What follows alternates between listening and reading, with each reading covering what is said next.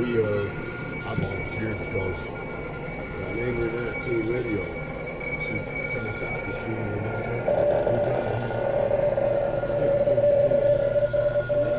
These radios in here, they can communicate with any military frequency you want. Fantastic. And these are all tubes. Oh, they are all tubes. Yeah.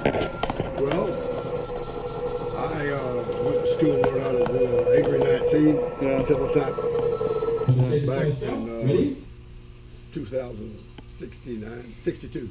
Yeah. 62. And uh, we can communicate pretty good. What what fascinated me, you could take a neon bulb, take one right out of here, walk around the room when he's transmitting, and it would light up the whole damn Light up the whole area.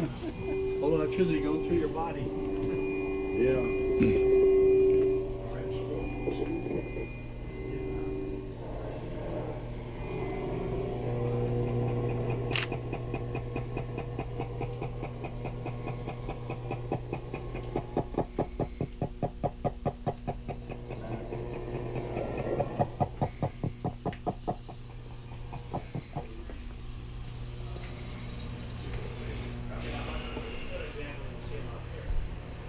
This here is a, this is an expansion.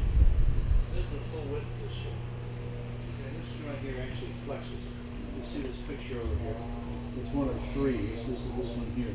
Okay. This flexes, this flexes, and this flexes. The beaker has to have a little bit of flex to it. Beaker brake. Now the frames, you see the frame, this is a frame here, that's another frame there. They're four feet apart, okay? And that's the entire length of the ship. And then you've got frames that run horizontally, and that's what these are. Well, when the ship is, is going down, uh, th- this is steel, and there's a lot of pressure there from the water. And that's why it it sort of like, like dimples it in, let's say.